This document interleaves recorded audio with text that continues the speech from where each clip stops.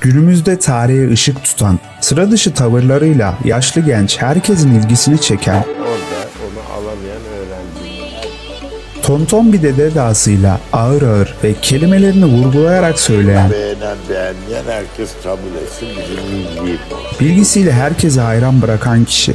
Kimden mi bahsediyoruz? Cahillere tepki olarak dünyaya gelen Profesör Doktor İlber Ortaylı'dan tabii ki. Keşkesi olmayan hayatları anlattığımız video serimizin 3. bölümünde İlber Ortaylı'dan bahsediyoruz. Hadi hep birlikte izleyelim.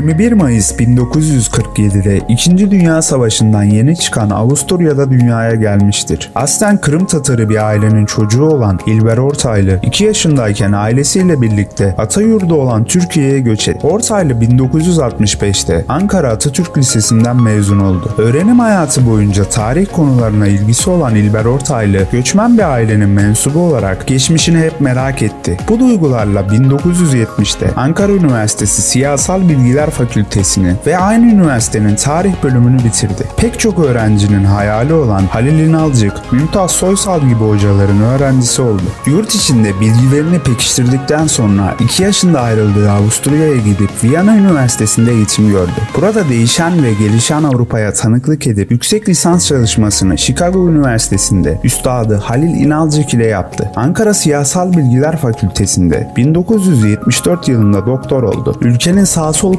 kavgalarıyla boğuştuğu yıllarda çalışmaya devam edip 1979 yılında ise Osmanlı İmparatorluğu'nda Alman nüfuzu adlı çalışmasıyla doçent oldu. 1982 tarihine gelindiğinde devletin akademik politikalarına tepki olarak istifa etti. İdealist bir insan ve görüşlerine bağlı biriydi o. Baskılara hiç gelemezdi. Sonrasında Viyana, Berlin, Paris, Moskova, Roma, Münih derken birçok Avrupa ve Asya üniversitelerinde misafir öğretim üyeliği yaptı.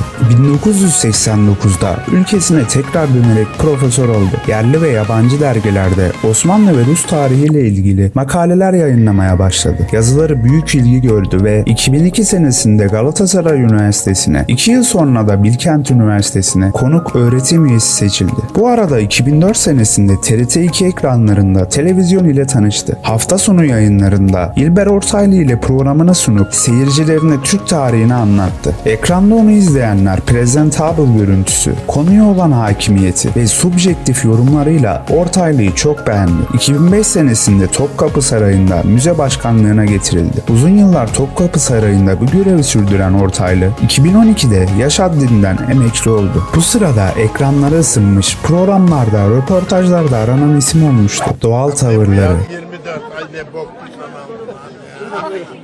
Samimi yorumları, Niye franga yapmıyorsun? Zeynep Umutlu yayındayız.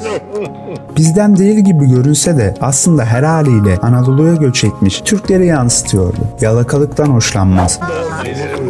Hadi bırak efendim burada hükümet Sen propaganda. kimle kavga et? Cahilliğe katlanamaz. Bilmiyorsun lafına da çok kızar.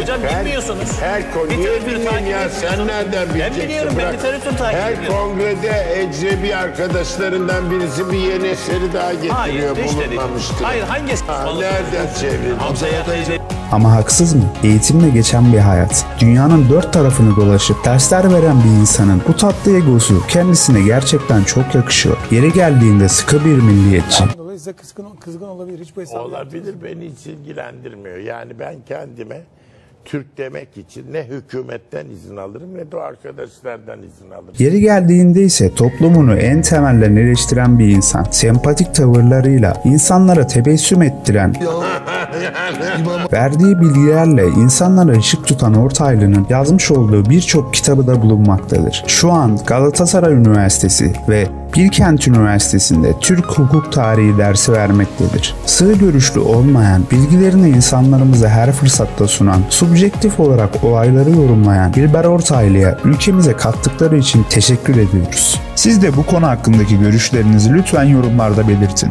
Bu tarz videoların devamı gelsin diyorsanız videomuzu beğenebilir, abone olup zile tıklayarak da bize destek olabilirsiniz. İnsanlığın ilkeleri. İyiliklerin peşinde olduğumuz bir dünya dileğiyle. Hoşçakalın.